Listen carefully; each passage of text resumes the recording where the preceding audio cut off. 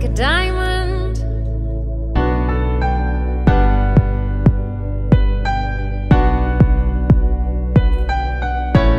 Shine bright like a diamond.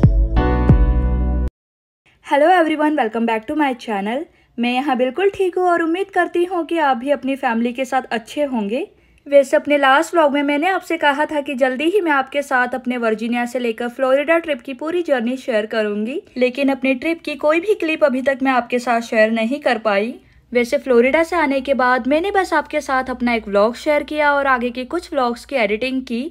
और इतने में ही ईस्टर के दौरान अगेन हम एक नए ट्रिप पर निकल गए। सो यहाँ से वहाँ आने जाने में फ़िलहाल घर की हालत बहुत बुरी हो चुकी है। एक एक कर अपने घर के हर एक हिस्से को फ़िलहाल मैं क्लीन और ऑर्गेनाइज कर रही हूँ ताकि मेरी रूटीन पहले की तरह नॉर्मल हो जाए। बाकी लास्ट ट्रिप के जितने भी व्लॉग्स बने हैं, जल्दी ही मैं आपके साथ शेयर करूँगी। फ़िलहाल तो आज मैं कर रही हूँ अपना किचन क्लीन वैसे आपको मेरे क्लीनिंग के व्लॉग्स पसंद आते हैं, इसलिए अपने घर के क्लीनिंग और ऑर्गेनाइजिंग के कुछ क्लिप्स आज इस व्लॉग के ज़रिए मैं आपके साथ शेयर कर रही हूँ। आई होप आपको ये व्लॉग पसंद आए।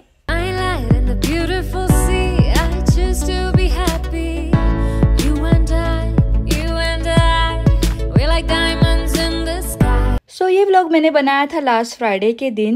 दोनों बच्चों के स्कूल जाने के बाद मैंने अपना किचन क्लीन करना शुरू किया। सबसे पहले किचन के पैंट्री और कैबिनेट में जितने भी खाली जार रखे थे, उनमें ग्रोसरी फिल की। देन यहाँ मैं हमारे लिए बना रही हूँ साबूदाना की खिचड़ी और चाय। तो जिस तरह हम व्रत के लिए सिंपल साबूदाना की खिचड़ी बनाते हैं, मुझे उसी तरह के बिना मसाले वाले खिचड़ी खाना काफ़ी पसंद है। बस साबूदाना का हर एक दाना एक दूसरे से अलग होना चाहिए। बिल्कुल खिला हुआ। तो अगर आपको इसकी रेसिपी चाहिए होगी तो इस वीडियो के एंड में मैंने आपके साथ साबूदाना की खिचड़ी की शेयर की है, आप ज़रूर देखना। और चाय पीकर एक बार फिर मैं लग गई हूँ अपने क्लीनिंग के कामों में। सो जो मेरी वीकली किचन क्लीनिंग की रूटीन होती है, उसमें मेरा सबसे पहला टास्क होता है इस रैक को क्लीन करना। वरना ये अगर वीकली क्लीन ना हो तो एक्स्ट्रा मॉइस्चर की वजह से रैक के बॉटम पर मोल्ड जमा होने लगता है। और इस बार तो लास्ट तीन हफ्तों से इसकी क्लीनिंग में कर ही नहीं पाई। इवन लास्ट ट्रिप पे जाने से पहले मैंने जो भी बर्तन धोकर इस रैक पे रखे थे, वो सारे बर्तन चार से पाँच दिनों के लिए ऐसे ही रैक पे रह गए थे, जिसकी वजह से रैक के बॉटम पर काफ़ी गंदगी जमा हो गई थी। इसलिए फ़िलहाल ब्रश की हेल्प से मैं कर रही हूँ इस रैक की deep cleaning bright like a diamond. अपने किचन और लिविंग रूम को ऑर्गेनाइज करने के लिए कुछ दिनों पहले ही मुझे टीमों के ऑनलाइन साइट से कुछ आइटम रिसीव हुए थे जिन्हें यूज़ करने के बाद उनका ऑनेस्ट रिव्यू आज मैं आपके साथ शेयर कर रही हूँ। वैसे टीमो से जो भी आइटम मुझे मिले हैं, वो सारे ही मैंने खुद सिलेक्ट किए हैं। इवन जब आप भी उन्हें देखोगे तो आपको भी अंदाज़ा लग जाएगा कि ये सारे प्रोडक्ट आपके कितने काम आएँगे। सो टीमो से मैंने अराउंड दस से बारह आइटम्स मंगवाए थे, जिनमें से कई चीज़ों को यूज़ करने के बाद ही उनका रिव्यू मैं आपके साथ शेयर कर रही हूँ। तो सबसे पहला आइटम जो मैं आपके साथ शेयर कर रही हूँ, वो है ये न्यू स्टाइल का four cup fried egg pan जो कि मेडिकल स्टोन से बना हुआ है और नॉन स्टिक पैन है। क्योंकि हम एग नहीं खाते, इसलिए ये पैन मैंने पैनकेक बनाने के लिए लिया है। आपको ये पैन सेपरेट हैंडल और स्क्रू के साथ मिलेगा, लेकिन सिंगल स्टेप के साथ पैन हैंडल से आसानी से लग जाता है। सो टीमो से मैंने जितने भी यूटेंसिल्स मंगवाए थे, उन्हें मैंने यूज़ करने से पहले अच्छी तरह धो लिया।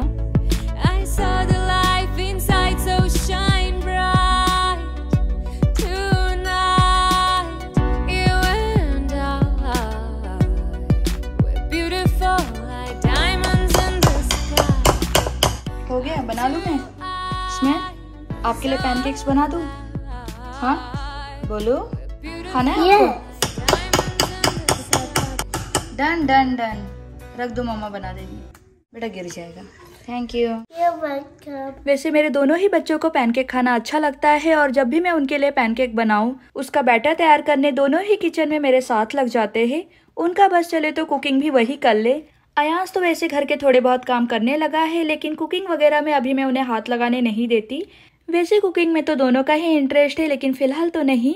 बच्चे थोड़े और बड़े हो जाए तब उन्हें मैं कुक करना सिखाऊँगी। सो so, इस पैन को मैंने पहली बार पैनकेक बनाने के लिए यूज़ किया है। और आप देख सकते हो कि कितनी आसानी से एक ही बार में चार पैनकेक बनकर तैयार हो गए। प्लस पॉइंट तो ये है कि इन्हें बनाने में किसी भी तरह का मैस नहीं हुआ। पैनकेक बनाते समय एक दो बार पैन में बैटर लग भी गया था लेकिन बहुत ही आसानी से क्लीन हो गया। तो ये पैन तो मुझे बहुत पसंद आया। वैसे इस पैन का लिंक आपको इस वीडियो के नीचे डिस्क्रिप्शन बॉक्स और कमेंट बॉक्स दोनों में ही मिल जाएगा। तो एक बार ज़रूर चेक कर लेना।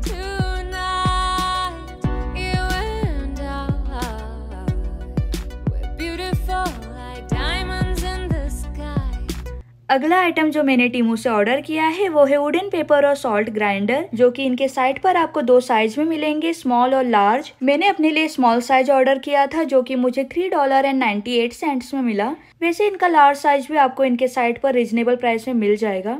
नेक्स्ट मैंने उनके साइड से एक सर्विंग स्पून मंगवाया और अब सोच रही हूँ कि सिर्फ़ एक की ऑर्डर किया, मुझे और ले लेना था। क्योंकि जिस तरह की क्वालिटी मुझे अपने स्पून के लिए चाहिए, बिल्कुल ये वैसा ही है। स्पून के कॉर्नर्स काफ़ी थिक है प्लस ये सिंगल मेटल से बना हुआ है। साइज़ भी सही है और प्राइस भी रिजनेबल आपको ये serving spoon one dollar twenty nine cents में मिल जाएगा। तो ऐसे और भी सर्विंग स्पून इनके साइड से मैं अपने लिए ज़रूर लूँगी।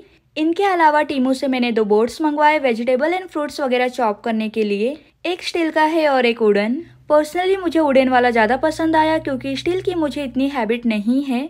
पहले कभी यूज़ नहीं किया, लेकिन स्टील वाले काफ़ी ड्यूरेबल होते हैं, जल्दी ख़राब नहीं होंगे। तो अगर वीडियो में दिखाए गए आइटम्स आपको पसंद आ रहे हैं तो इन्हें आप टीमो से ले सकते हो। फ़िलहाल आपको आपके परचेज पर थर्टी टू फोर्टी परसेंट का डिस्काउंट इनके साइट पर मिल जाएगा। साथ ही मैंने टीमों से एक गार्बेज कैन मंगवाया है। इसे आप अपने किचन या बाथरूम के कैबिनेट डोर पर हैंग कर सकते हो और ये आसानी से फोल्ड भी हो जाते हैं। तो जब भी आपका काम हो जाए, आप इसे फोल्ड करके कहीं भी रख दे। Shine bright like a diamond.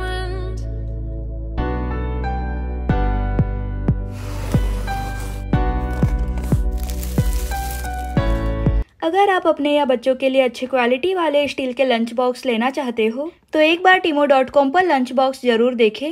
इनके पास आपको लंच बॉक्स से लेकर लंच बैग्स की काफ़ी वैरायटी मिल जाएगी। मैंने भी इनके साइड से अपने और बच्चों के लिए दो लंच बॉक्स और बैग मंगवाए हैं। तो ये है पहला लंच बॉक्स जो मैंने ऑर्डर किया है टीमू से। ये स्टील का मल्टी लेयर वाला बॉक्स है, जिसके लीड के ऊपर आपको एक स्पून होल्डर और एक स्पून मिलेगा, जो की फोल्डेबल है। वैसे जो बॉक्स मैंने ऑर्डर किया है, वो है तीन लेयर वाला। लेकिन इनके साइड पर आपको इस तरह के सेम दो लेयर और चार लेयर वाले बॉक्स भी मिल जाएँगे। तो अगला लंच बॉक्स जो मैंने टीमू से ऑर्डर किया है, वो है इलेक्ट्रिक लंच बॉक्स जिसकी कैपेसिटी 1.8 लीटर की है। वैसे इस लंच बॉक्स में आपको बैग नहीं मिलता। बैग के लिए आपको थोड़ा एक्स्ट्रा पे करना होगा। लेकिन ये लंच बॉक्स मुझे बैग के साथ लेना वर्थ लगा, इसलिए बॉक्स मैंने बैग के साथ लिया है। बाकी लंच बॉक्स के साथ आपको इसका मैनुअल और एक स्टील का स्पून और फोर्क मिलेगा। इसके अलावा दो कोड मिलेंगे, जिसकी हेल्प से इस लंच बॉक्स में रखा हुआ फ़ूड आप अपने घर में ऑफ़िस या कार में कहीं भी गर्म कर सकते हो। अगर आप दो अलग तरह के फ़ूड इस बॉक्स में रखना चाहते हो तो उसके लिए आपको एक एक्स्ट्रा कंपार्टमेंट भी इस लंच बॉक्स के साथ दिया गया है। तो अगर आप अपने लिए अच्छे क्वालिटी के लंच बॉक्स लेना चाहते हो तो टीमो डॉट कॉम पर ज़रूर जाइए। वहाँ आपको लंच बॉक्स के काफ़ी सारे ऑप्शंस मिल जाएँगे। लंच बॉक्स के अलावा टीमो डॉट कॉम पर आपको इस तरह के वाटर प्रूफ थर्मल बैग्स भी मिल जाएँगे। इनके साइट पर कई सारे कार्टून कैरेक्टर वाले थर्मल बैग्स अवेलेबल है। वो भी सिर्फ़ three dollar sixty nine cents में। और थर्मल बैग होने की वजह से काफ़ी समय तक इसमें रखा हुआ फ़ूड गर्म ही रहेगा। प्लस ये बैग वाटरप्रूफ होने की वजह से इन्हें क्लीन करना भी काफ़ी आसान है।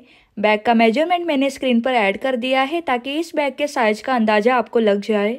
और अगला जो आइटम मैंने टीमू से ऑर्डर किया है वो है फ्रिज ऑर्गेनाइज़र जो कि क्लियर होने के साथ स्टैकेबल है। इसमें आपको सेवन स्टोरेज बिन्स मिलेंगे, वो भी लीड के साथ। तो इसमें मुझे एक बड़े साइज़ का स्टोरेज बिन मिला है। प्लस दो बीन्स एक जैसे है, वैसे इनकी भी लेंथ अच्छी है। साथ ही चार छोटे साइज़ के बीन्स मिले हैं, जिनमें आप जिंजर गार्लिक मिर्च वगैरह रख सकते हो या फ्रूट्स वगैरह ऑर्गेनाइज कर सकते हो। तो इनके हेल्प से मैंने अपना फ्रिज ऑलरेडी ऑर्गेनाइज कर लिया है। चलिए आपको जल्दी से फ्रिज का टूर दे दूँ। सो आपकी जो भी राय या सलाह होगी मेरे क्लीनिंग और चीज़ों को ऑर्गेनाइज करने के बारे में, मुझे कमेंट कर ज़रूर बताना।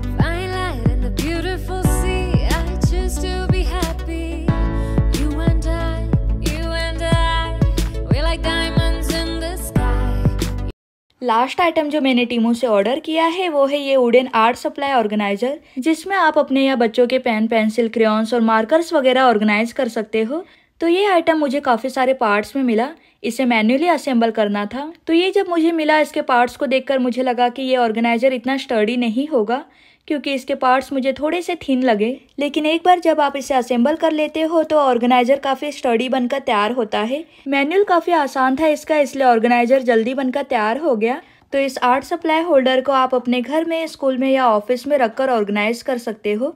ये आपको टीमू डॉट कॉम पर काफ़ी रिजनेबल प्राइस में मिल जाएँगे। सो so फाइनली मेरा आर्ट सप्लाई होल्डर बनकर रेडी है। चलिए इसे साथ में ऑर्गेनाइज करते हैं।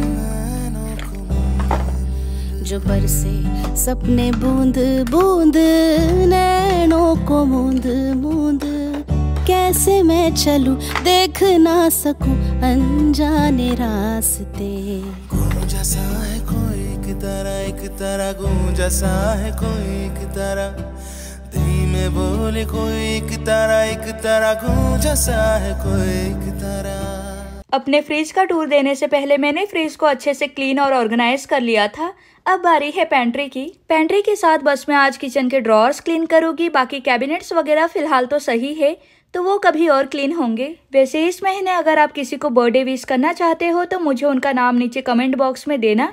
अगले व्लॉग में मैं उन्हें विश कर दूँगी। Happy birthday Suhani Upadhyay. आपको आपके जन्मदिन की बहुत सारी शुभकामनाएँ। वैसे ये मेरा भी बर्थ मंथ है, मैं अप्रैल बॉर्न हूँ। शायद मैंने पहले कभी आपके साथ शेयर नहीं किया होगा, लेकिन मेरे मम्मी पापा की फोर्थ वेडिंग एनिवर्सरी के दिन ही मेरा बर्थ हुआ था। सेम उसी दिन, लेकिन उनके वेडिंग के चार साल बाद। तो पहले जब भी मेरी मॉम इस बारे में मुझे बताते थे, मुझे यकीन ही नहीं होता था कि उनकी एनिवर्सरी और मेरा बर्थडे सेम दिन पर कैसे हो सकता है। मुझे हमेशा यही लगता था कि बस मुझे खुश करने के लिए बोलते होंगे। बट देन एक दिन मुझे अपने मम्मी पापा के वेडिंग का कार्ड मिल गया। तो जी हाँ ये बात बिल्कुल सच निकली। हमारी डेट बिल्कुल सेम है। तीस अप्रैल को मेरे मम्मी पापा की वेडिंग एनिवर्सरी के साथ ही मेरा बर्थडे भी होता है। तो इस दिन को तो मैं अपने लिए काफ़ी लकी मानती हूँ कि मेरा स्पेशल दिन मेरे पेरेंट्स के स्पेशल दिन के साथ होता है। इवन मेरे दोनों बच्चों की भी बर्थ डेट सेम है। अयांश का बर्थ 12 अगस्त को हुआ था और स्मैन का 12 नवंबर। वैसे आपके लाइफ में भी कुछ खास दिन होंगे जिनको लेकर आपके पास कई किस्से होंगे। हो सके तो कमेंट के ज़रिए मेरे साथ भी शेयर करना।